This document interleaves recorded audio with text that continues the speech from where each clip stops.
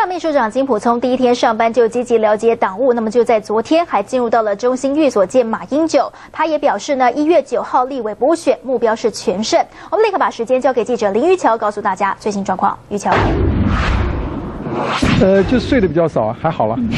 那昨天去总统的寓所有没有谈到什么党务革新的问题？呃，没有，最主要就是还是要谈我们要如何在。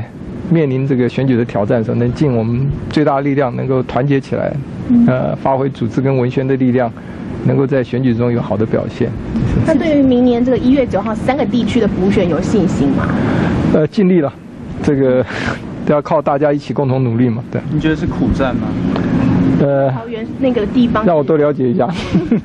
我正在努力进入状况。秘书长，今天、昨天您针对这个李俊英委员的发言而做一个回应啊。李俊委员今天早上又做了一些相关的一个，他说你只你不要对号入座嘛。他说的只是超友谊关系，没有关系，男女男女的。李俊英委员高兴就好，随便他说了。好，我已经表达完我的意见，剩下以黄好，稍后有更多讯息，我们会随时透过连线来提供给您。